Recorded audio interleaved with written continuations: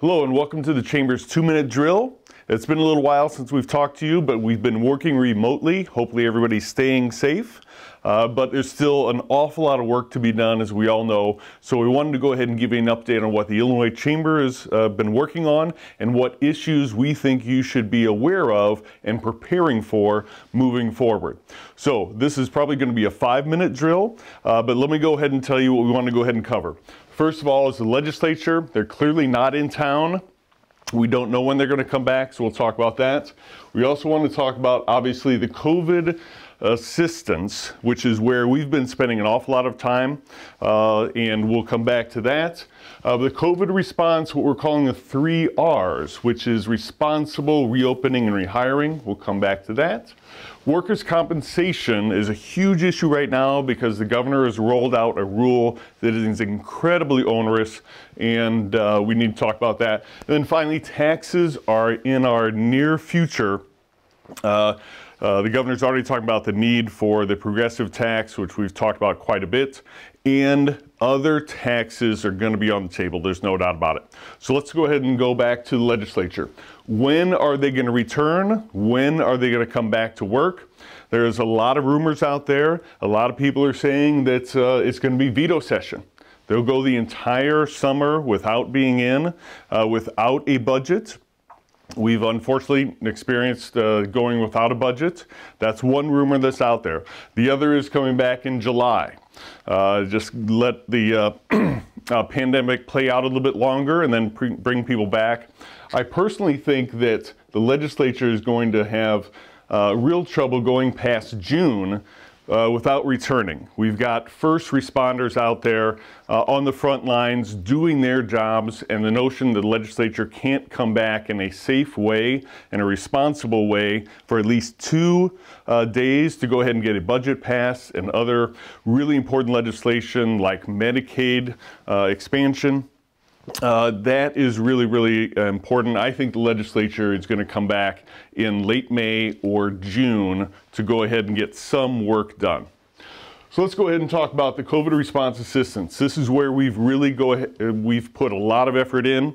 Uh, when we looked at all the things that the chamber could be doing, we thought that small business liquidity was the single most important thing that we needed to help on. So consequently, we partnered with some really, really good uh, groups. Uh, the Illinois Department of Commerce and Economic Opportunity, Small Business Administration, U.S. Chamber is doing great work, as is the Illinois Treasurer's Office. So we have had multiple, multiple meetings with them, uh, talking to thousands of businesses about how they can go ahead and access uh, the programs that are out there, and uh, been very, very good cooperation. Federal assistance to critical industries has also been important. Those are the larger industries, uh, but aerospace, transportation, those have been very, very important uh, to the Illinois economy, and we're very happy that at least we're getting some movement there to go ahead and get those critical industries uh, some assistance out of the federal government. So, uh, also on our priority list. Let's go ahead and talk about our three R's. We believe that the time has come to go ahead and rebalance uh, the debate, or not debate, the discussion about uh, the fact that we've got a uh, public health emergency, but we also have an economic emergency. So we are talking about the three R's to go ahead and make sure that the economic problems are getting more attention from our state government as well as the federal government. So the first one is responsible. Most important, we know it's a public health emergency, but we believe that businesses can reopen if they are to go ahead and use density control, appropriate masking, and cleaning protocols. We think the governor could go ahead and modify his executive order tomorrow along these guidelines. Restaurants and bars may need additional things, such as not uh, having paper menus, not having condiments on the tables. Uh, but we think that every business in Illinois that adheres to density control, masking, and cleaning should be uh, available to reopen and then, most importantly, rehire our workers.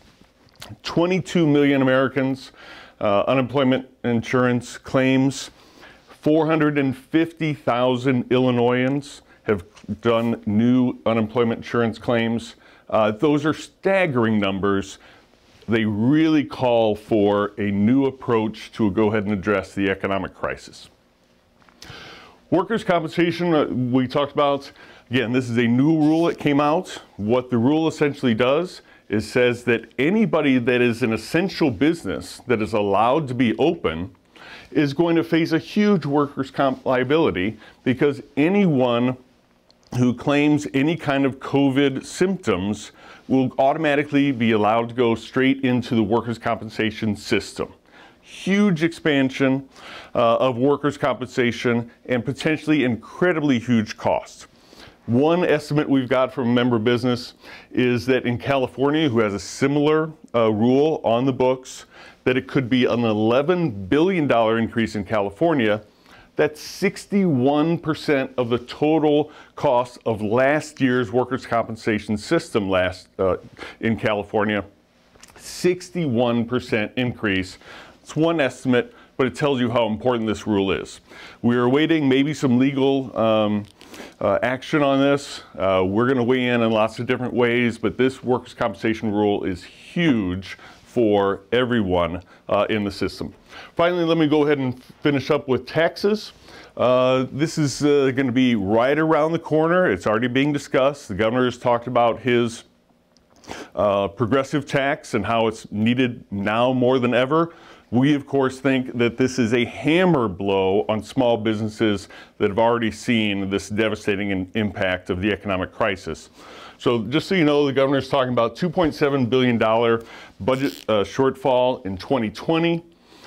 4.6 billion in 2021 so that's uh, well over 7 billion dollars that the state government is talking about that they've got to go ahead and fill as of this morning when we're filming this this, the, the latest federal bill has no assistance for state and federal uh, governments. Uh, we all know back in the Great uh, Recession, the financial crisis, state and federal, uh, I'm sorry, state and municipal governments got a lot of assistance. Right now, it's at zero. So I think they're going to come back and the state's going to get some help. But if this uh, number is not addressed, you can know that every single taxpayer should be very, very concerned about what taxes are likely to come their way. Um, and then, uh, yeah, so the final thing is also we want to make sure that all of the federal assistance that businesses are getting and depending upon should not be taxed at the state level. We don't think that that's going to happen automatically, but we do um, uh, express some concern that if a lot of assistance and loan forgiveness is uh, coming to businesses, that the state will say, you know what, that's a real good source of income. This is uh, assistance from the federal government that's keeping people afloat, keeping people from going bankrupt. We don't think that the state government should come back and then tax that on top of it. So uh, we're very, very concerned about that issue as well. We'll be back in touch soon.